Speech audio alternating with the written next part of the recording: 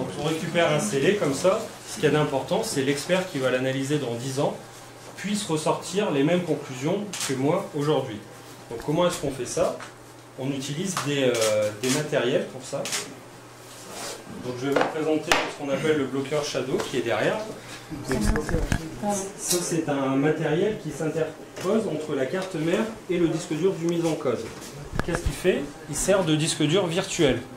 Pourquoi est-ce qu'on utilise ça Avec ce matériel, je suis capable de démarrer la tour sans modifier le disque dur du mise en code. Donc pas modifier le- les heures de démarrage, les, euh, ce genre de choses sur le disque dur.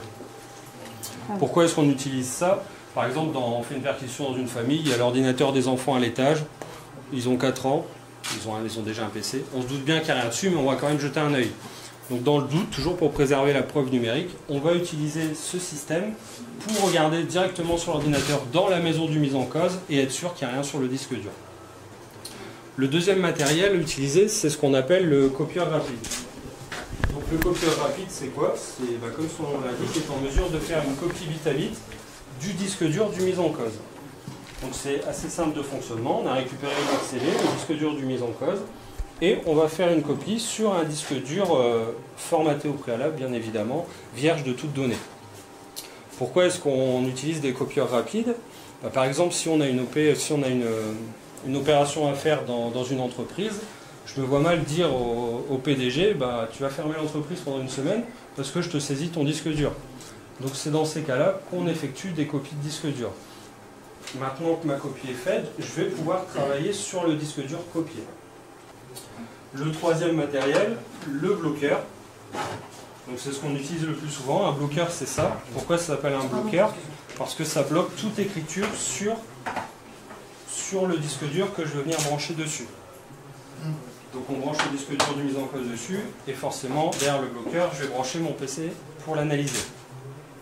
C'est le matériel qu'on utilise régulièrement pour, euh, pour examiner tous les, tous les scellés qu'on nous apporte au cours, euh, cours d'une enquête. Donc une fois qu'il est branché, bien évidemment, on ne va pas utiliser les outils Windows, l'explorateur Windows, ce genre de choses pour travailler dessus.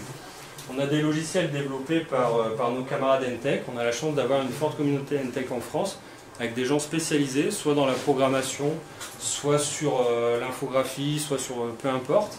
Et l'un de nos camarades a développé un logiciel qui s'appelle WFRA. Ce logiciel est en mesure de lire les ruches Windows, les bases de registres, les logs de sécurité, ce genre de choses dans le système d'exploitation et de nous afficher ça sous une forme graphique lisible, beaucoup plus compréhensible qu'un simple document texte dans Windows.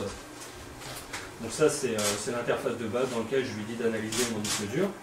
Et à l'issue, il me sort un rapport HTML sous cette forme-là. Dans ce rapport HTML, on peut voir ici, on a en tête les différentes possibilités. Soit de système, sur, euh, sur les événements Windows, les matériels connectés, ce genre de choses. Euh, je commence une enquête, j'ouvre mon logiciel d'analyse, j'ai ça. Donc c'est-à-dire, un- J'ajoute mon disque dur, branché derrière mon bloqueur. Et là, en fait, que va faire mon, logiciel? Il va traverser le disque dur sans tenir compte, euh, comme Windows, des fichiers cachés, des fichiers de sécurité qui sont masqués par défaut dans Windows, des droits d'utilisateur propriétaires, que ce soit un Linux, un Mac, un Windows, peu importe pour lui. Pour lui, c'est un support externe qui, euh, dans lequel, euh, qui contient des fichiers, des dossiers, qui va nous dresser, euh, qui va nous indexer.